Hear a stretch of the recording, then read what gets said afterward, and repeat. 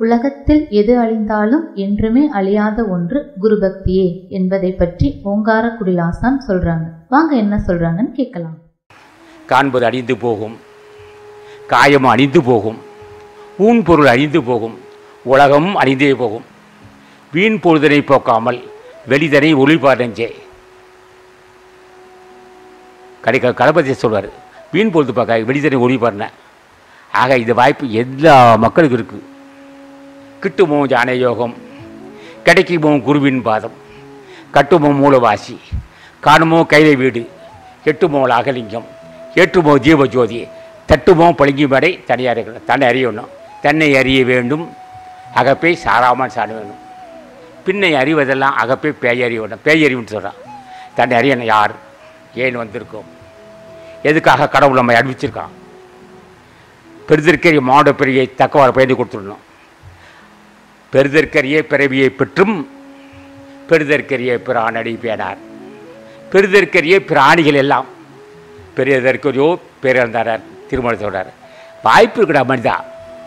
மனிதனால் பிறந்தால் மர மரணா பெரு மரணமலா பெருபுறன் வாய்ப்பு இருக்குது ஆகவே இல்லறத்தாக இருந்தாலும் சரி நம்ம கூட இருந்தாலும் சரி. ஆனால் அவன் சொல்கிறேன் இங்கே வந்திருக்க மக்கள் அத்தனை பேர் என்னுடைய கண் போன்றவர்கள்.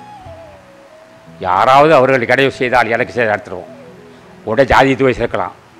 அந்த ஜாதி என்று சொல்லிட்டு இருக்காதே பேசிட்டு தீமை செய்தால் அது எனக்கு செஞ்ச தீமை கழிச்சிடுவேன் அவனையும் சகோதரன். இவனும் சகோதரன். ஆக உங்களும் ஆயிரம் மனசில் தான் இருக்கணும். ஜாதி உணர்வு வச்சுட்டு புறாம போடாதே. இடையில பேசாதே. அப்படி பேசினா எனக்கு செஞ்ச தீங்க வார்த்துவோம் அப்போ அவன் மேலே கோபம் வந்துச்சு என்ன நீ அடிச்சுக்க. ஆனால் தொண்டர்கிட்ட இடம் வச்சாதே நம்ம தொண்டருக்கு யாரோ இடையே செய்தால் அது முருகப்பெருமான கோபம் வந்துடும் ஆகவே தொண்டருக்கு அத்தனை பேரும் ஊர்த்தாய மக்களாக இருந்து நம்ம தொடர்ந்து இருக்கணும். இப்போ நான் அறிவு சொல்லலை. ஆகவே இந்த சகத்தை அப்படி இல்லை. அப்படி இருக்குது கொஞ்சம் கொஞ்சம் இருந்தாலும். அப்படி லேசாக இருக்கணும். இதை சின்ன சகம் வந்து பல பலதரப்பட்ட மக்கள் இருக்காங்க. ஆனால் இந்த பொறாமை இருக்கே அவன் சொல்லுவான் அழுக்காரோடையா இருக்க அது சாலுன்ட்டான் பொறாமை உண்டு எல்லாம் இருக்கட்டா பொறாமை உண்டு இருந்த போட்ட எல்லாமே எல்லாத்தையுமே அழுக்காரோடையா இருக்க அது சாலும் ஒன்று ஆறு வலிக்கு கேளுன்னா பகைவன் செய்யாத வேலையெல்லாம் செஞ்சுட்டு இருக்கான். இப்படி ஏது ஒரு சொத்து வச்சுட்டான். ஆமாம் அவங்க பாட்டை கொடுத்தான்.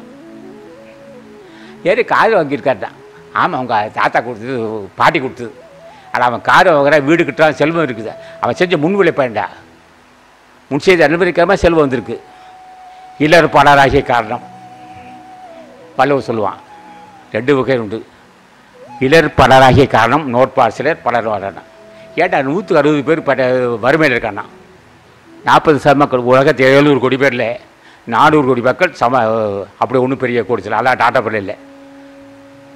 ஆக எங்கே இருந்தாலும் சரி நாற்பது சத மக்கள் அறுபது சத மக்கள் வறுமை தான் இருப்பாங்க. ஒன்று அறிவு பழகணும். சிக்கனமான அறிவு.